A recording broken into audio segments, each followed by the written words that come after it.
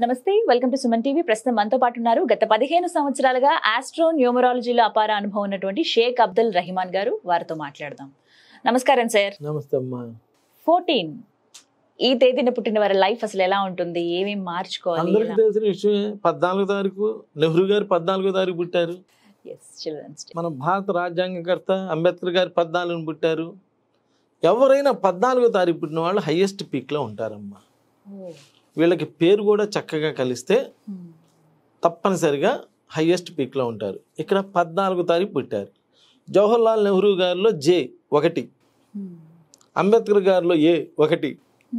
ఇలా మ్యాచింగ్ చూడాలి. ఇక్కడ పదిహే ఒకటి ప్లస్ నాలుగు ఐదు. ఇక్కడ పేరు ఎంత దబ్బిగినైంది? వన్తో మళ్ళీ ఫిఫ్టీన్ అయింది నువ్వు ఒక రకంగా చూసుకుంటే. కదా? అవును.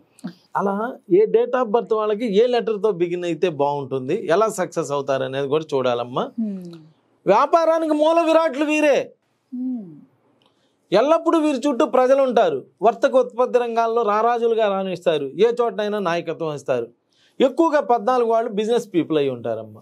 చాలా తెలివిగల వాళ్ళు చాలా అంటే చాలా తెలివిగల ఐఏఎస్లు ఐపీఎస్లు అంబాసిడర్స్ ఇలా దేశ దేశ సంబంధాలు కలిపే వాళ్ళు వీళ్ళందరూ పద్నాలుగు. ఎక్కువ శాతం వ్యాపారంలో ఉంటారు. ఈ పద్నాలుగో తారీఖు పుట్టి వ్యాపారం సరిగ్గా లేకుండా ఏమన్నా ఇబ్బందులు పడుతున్నారంటే అర్థమైందంటే ఆ పద్నాలుగో తారీఖు పుట్టిన వాళ్ళకి పేరు నెగిటివ్లో ఉన్నది అని. ఐదో నంబర్ వాళ్ళకి ఐదో నంబర్లో పేరు పెట్టుకోవాలి. ఓకే. లేదా సిక్స్లో పెడతారు. సిక్స్లో పెడితే లక్ష్మీనారాయణ యోగం. ఇందా చెప్పా కోహ్లీ గారి గురించి. ఐదు ఆరు కలిస్తే లక్ష్మీనారాయణ యోగం. అసలు వాళ్ళ యొక్క పేరు కరెక్ట్గా కలిసిందా లేదా చూడాలి. ప్లస్ వాళ్ళ బిజినెస్ నేమ్ కూడా వాళ్ళు బిజినెస్ చేస్తారు కదా ఎక్కువ ఆ బిజినెస్ నేమ్ కూడా ఐదులో ఉందా లేదా చూసుకోవాలి. ఐదులో కానీ ఆరులో కానీ ఇప్పుడు ఐదో నంబర్లో పుట్టిన వాళ్ళకి ఏడో నంబర్లో పేరు పెట్టారనుకోండి యాభై ఏడు డిస్టర్బ్ అయిపోతారు. ఐదులో పుట్టిన వాళ్ళకి అలా చూసుకొని ఏ- ఏ నంబర్లో పేరు పెడితే వాళ్ళు సక్సెస్ అవుతారు చూసుకొని యాభై రెండులో పేరు పెట్టారు రెండో నంబర్లో పెడితే వాళ్ళు కూడా డిస్టర్బ్ అయిపోతారు. అప్ అండ్ డౌన్స్ లైఫ్ ఎదుర్కొంటూ ఉంటారు. ఇక్కడ పేరు మంచి నంబర్ అని ఇవ్వటం కాదమ్మా. అవసరాన్ని బట్టి పేరు ఇవ్వాలి. వాడు చేసే పని ఏంది? అంటే వాడికి ఒక ఐదు నిమిషాలు ఇంటర్వ్యూ తీసుకోవాలి. అసలు రాగానే కూర్చోబెట్టాలి ముందు. కూర్చోబెట్టి అసలు నువ్వేం చేస్తుంటావు ఏంటి అనేటువంటి అంతా చూసి వాడి జాతక చక్రం చూసి అన్నీ చూసుకున్నాక వాడు చేసే పని బట్టి మనం ఒక నంబర్ సెలెక్ట్ చేసుకొని మన మైండ్లో ఫస్ట్ ఫిక్స్ అయ్యి వాడికి ఆ నంబర్ ఎంతవరకు సూటబుల్ అనేది వాళ్ళ జాతక చక్రం ప్రకారం వాళ్ళ డేట్ ఆఫ్ బర్త్ అదే డెస్టినీ ప్రకారం అన్నీ చూసి చెప్పాలి. వంశీనా వివిఏఎంఎస్ఐ రాసుకో ఇచ్చేయటం. రాంబాబు ఆర్ఏఎం ఎం ఏఏ బిఈ బిఏ బియు ఒక ఏ కలిపి ఇచ్చేయటం ఇంకా ఇంకా కూర్చోవటం కూడా లేదు. ఇంకా సినిమా టికెట్ అన్న కాస్త చించి ఇవాళ డబ్బులు లెక్కేసుకోవడానికి కానీ టైం పట్టిద్ది. ఇక్కడ ఏం బయట డబ్బులు వసూలు చేసేస్తారు కదా. రాగానే ఆల్రెడీ మన దగ్గర లిస్ట్ ఉంటుంది కదా రాంబాబు అనగానే ఆ, ఏ కలిపి ఇదిగో ఇదిగో రాంబాబు వెళ్ళిపోవడం వెంబడే బెస్ట్ ఆఫ్ లక్ అంతే. ఇంటర్వ్యూ లేదు మాటలు లేవు ఏం లేవు. అందరి లైఫ్ ఒకలా ఉండదు కదా. ఉండదు కదా. అందుకని వచ్చిన వాడిని వీళ్ళందరమ్మ రాంబాబుకి ఏ కలుపుతున్నారు? రాంబాబుకి ఏ కలిపితే మళ్ళీ వాడు డిస్టర్బ్ అవుతున్నాడు. అసలు వాడు చేస్తుంది వాడు మేస్త్రి పని చేస్తున్నాడా? లేదు ఆయన ఐఏఎస్ఆ లేదా ఆయన డాక్టరా ఎవరు ఏందని చూసి దానికి తగ్గట్టుగా పేరిచ్చుకోవాలమ్మా. అందరికి ఒకటే రాంబాబా. అందరిని ఒకే ఘాట్లో కట్టేస్తే ఎట్లా? అందుకని పద్నాలుగు వాళ్ళకి గనక ఇరవై మూడో నంబర్లో పేరు పెడితే గజకేశ్రీ యోగం. ఇటు పద్నాలుగుకి ఇటు ఐదు గజకేశ్రీ యోగం కలిస్తే సూపర్ డూపర్గా హిట్ అవుతాడు. అదే పద్నాలుగో తారీఖు పుట్టిన వాళ్ళు ఏమండి మా అమ్మాయిని హీరోయిన్ చేద్దాం అనుకుంటున్నాను అని వస్తారు. ఎంతోమంది వస్తారమ్మా. అసలు నీకు ఇంకో విషయం తెలుసా? అంటే నువ్వు సై- సైకాలజీ అనుకోవచ్చు తప్పేం లేదమ్మా. అలా రాగానే అమ్మా ఏంది? ఏ సినిమాలో హీరోయిన్ నువ్వు అంటా నేను ఆ తల్లిదండ్రులు లేదా బెత్తరపోతారు. చాలా సంతోషపడతారు కదా. బెత్తరపోయి సరే అలా చెప్పారు ఏంటంటే ఉన్న అలా వచ్చేసింది అయ్యా వాక్కు. ఏంటంటే మా అమ్మాయిని హీరోయిన్ చేద్దామని వచ్చామండి. ఇలా వస్తారమ్మా. నీకు ఇలా లైవ్లో కాసు తీసుకుంటే "నా- మాది ఖమ్మం అండి. మా అమ్మాయి పదిహేను తారీఖు పుట్టింది మా అమ్మాయిని హీరోయిన్ చేద్దాం అనుకుంటున్నాం మా అమ్మాయి ఫలానా తారీఖు పుట్టింది హీరోయిన్ చేద్దాం అనుకుంటున్నా అని అడుగుతారు. పద్నాలుగో తారీఖు పుట్టి హీరోయిన్ చేద్దాం అనుకున్నాం ఇంకో హీరోయిన్ కానీ హీరోయిన్ కానీ చేద్దాం అనుకుంటే వాళ్ళకి ఇరవై మూడో నెంబర్లో పేరు పెట్టను యాభై తొమ్మిదిలో పేరు పెడతా. ఎందుకని? అది సినీ ఫీల్డ్కి సంబంధించిన నంబర్. సినీ ఫీల్డ్ సక్సెస్ అయ్యే నంబర్. ఒక్కొక్క ఫీల్డ్కి ఒక్కొక్క నంబర్ ఉందమ్మా అన్ని ఐదులే అన్ని ఐదులే కానీ ఇక్కడ ఐదు మంచిది. పద్నాలుగు మంచిది ఇరవై మూడు మంచిది ముప్పై రెండు యావరేజ్ లైఫ్ ఇస్తుంది. చాలామంది ఫిఫ్టీ పెడతారు. ఫైవ్ పక్కన జీరో. ఎవరికి జీరో వచ్చినా వాడి జీరో జీవితం ఇలానే ఉంటుందమ్మా. జీరో ఇంతేగా? అప్ అండ్ డౌన్సే కదా?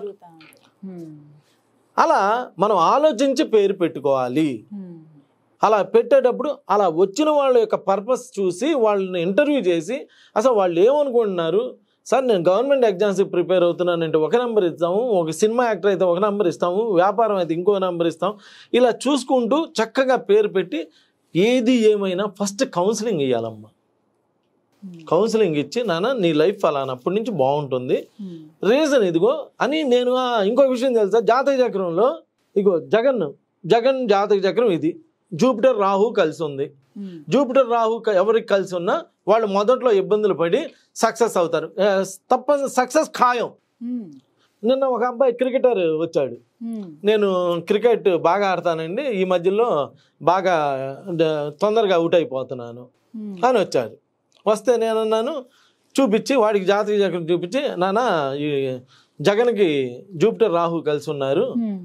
పెద్ద పెద్ద వాళ్ళందరికీ జూపిటర్ రాహు కలిసి ఉన్నారు వీళ్ళు మొదట్లో ఇబ్బంది పడటం ఖాయం కానీ సక్సెస్ హండ్రెడ్ పర్సెంట్ నాన్న. చూసుకొని నీకు జూపిటర్ రాహు కలిసి ఉన్నది అనగానే వాడికి ఒక కాన్ఫిడెన్స్ వచ్చింది. ఉదాహరణ. ఉదాహరణగా. అప్పుడు వెళ్ళి గేమ్లో ఆడేటప్పుడు లేదా నాకు జూపిటర్ రాహు ఉన్నారు నేను తప్పనిసరి సక్సెస్ఫుల్ పర్సన్ని సో నేను జాగ్రత్తగా ఆడాలి అని వాడు మైండ్లో ప్రిపేర్ అవుతాడు. అలా జాగ్రత్తగా ఆడతాడు. జాగ్రత్తగా ఆడితే సక్సెస్ అవుతాడు. అమ్మ ఇక్కడ ఒకటే రూల్ నాన్న నేను ఇందా నుంచి ఏం చెబుతున్నాను? పని చేస్తే కూల్ వస్తుంది. ఎంత పని చేస్తే అంత కూల్ వస్తుంది. సో ఈ ఆస్ట్రాలజీ న్యూమరాలజీ ఏం కాదు. అసలు నీ ముందు నీ మైండ్ పాజిటివ్గా ఉంటే అన్ని పాజిటివే జరుగుతాయి. దానికి కావాల్సినటువంటి హెల్ప్ నేను చేస్తాను. అంతేగాని నేనేం నీ ఫేట్ ఏం మార్చను. దానికి కావాల్సిన విధంగా అసలు నేను అసలు ఆస్ట్రాలజీ న్యూమరాలజిస్ట్నే కాదమ్మా. నేను ఒక మంచి నా నా భారతదేశ బిడ్డలందరూ బాగుండాలని ఒక తపన నాకు. వీళ్ళందరూ నా పిల్లలు లాంటి వాళ్ళే కదా వీళ్ళందరూ బాగుంటే ఒక ఏదన్నా ఒక నాకు డెబ్బై ఏళ్ళ వయసులో ఎప్పుడన్నా నేను అలా ఒక రోడ్డు మీద వెళ్తున్నాను అనుకో అగో ఆసారేరా నీకు పేరు పెట్టింది ఆసారే నీకు పేరు పెట్టింది అని చెప్పుకుంటారుగా. చాలుగా ఇంతకన్నా ఈ జీవితం ఏం కావాలి? ఇందాక చెప్పిన డాక్టర్లు వచ్చారమ్మా. డాక్టర్లు రావడం ఏంది? డాక్టర్లు ఆపరేషన్ చేయించుకుందామని ఆపి కాదు కాదని గురుచరిత్ర పారాయణ చేసి ఆపరేషన్ లేకుండా తప్పించుకోవటం ఏంటి? అసలు ఇవన్నీ ఏంటి? ఇదంతా నాది కాదు అనేది నువ్వు ఫస్ట్ అర్థం చేసుకోవాలి. నా గురువు ఉన్నాడు. ఆయన పేరు పట్నం బజార్ బాబా. ఆయన పేరు షీడీలో ఉన్నాడని షీడీ బాబా. ఆయనకి పేరు ఉండాలిగా? లేదు ఆయనకి? ఎక్కడ ఉన్నాడు షీడీలో ఉన్నాడు. షీడీ బాబా. నా గురువు గుంటూరులో పట్నం బజార్లో ఉన్నాడు. ఆయనకి పేరు లేదు ఊరు లేదు తల్లిదండ్రులు లేరు ఎవరు లేరు. పట్నం బజార్లో ఉన్నాడు కాబట్టి పట్నం బజార్ బాబా. ఆయన మాట్లాడుతుంటాడు నేను యాక్షన్ చేస్తుంటా. ఇందా నుంచి నువ్వు అనుకుంటున్నావు ఒక పిచ్చి తల్లి నువ్వేమనుకుంటున్నావు అంటే అబ్బా రైమాన్ గారు భలే మాట్లాడుతున్నాడు రైమాన్ గారు భలే మాట్లాడుతున్నాడు. కాదు. సరిగ్గా జ్వరం వస్తే లేదు నీ టీవీ ప్రోగ్రామ్ నేను బయలుదేరేటప్పుడు సరిగ్గా ఎదురు దెబ్బ తగిలితే నేను రానమ్మా. నా గురువు తెప్పిస్తున్నాడు నా గురువు మాట్లాడిస్తున్నాడు నా గురువు మాట్లాడించుకుంటున్నాడు.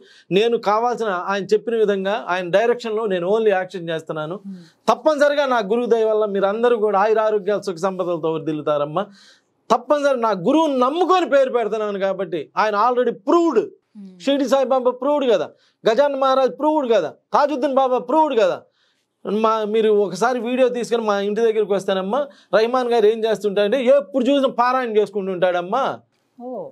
బయటికి వెళ్తేనేమో ఆ టీవీలో చూస్తేనేమో సూట్లు గీట్లు వేసుకొని ఉంటాడు ఇక్కడ ఒక చిన్న ఒక పాత లుంగి కట్టుకొని పారాయణ చేసుకుంటా కూర్చుంటాడమ్మా అంటారు మా బజార్ అంతా నా గురించి దేశం అంతా తెలియకపోయినా నా బజార్లో అయితే తెలిసింది కమ్మా వచ్చి అడిగితే ఎప్పుడు చూసిన పారాయణ చేసుకుంటూ ఉంటాడమ్మా. నాకు టైం దొరికితే పారాయణ చేసుకుంటుంటా ఎందుకు? నా దగ్గరికి వచ్చిన వాళ్ళందరికీ మంచి చెయ్యయ్యా. నాకు వచ్చో రాదో నీకు తెలుసు. నీకు వచ్చుగా?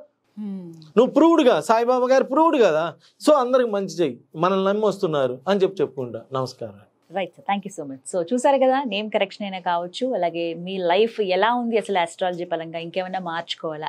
ఇలాంటి వివరాలు ఏమైనా కావాలంటే కనుక స్క్రీన్ మీద నెంబర్స్కి కాల్ చేయండి. రెహమాన్ గారి అపాయింట్మెంట్ తీసుకోండి. ఒకసారి సార్ని కలిస్తే ఫస్ట్ ఆఫ్ ఆల్ మీకు ఒక కౌన్సిలింగ్ అనేది ఇస్తారు. మీరు డిసప్పాయింట్మెంట్లో ఉన్న డిప్రెస్డ్గా ఫీల్ అయినా ఏదో లైఫ్లో జరుగుతోంది ఇంకా ఏదో కావాలనే తపన ఉన్నప్పుడు జస్ట్ నేమ్ కరెక్షన్ కావాలి అన్న అవసరం ఉన్నప్పుడు ఖచ్చితంగా రెహమాన్ గారిని కలవండి. సరైన సూచనలు సలహాలు మీకు అందిస్తారు. మీ లైఫ్ ఖచ్చితంగా చేంజ్ అవుతుంది. ఇది వాళ్ళ వీడియో. నమస్తే.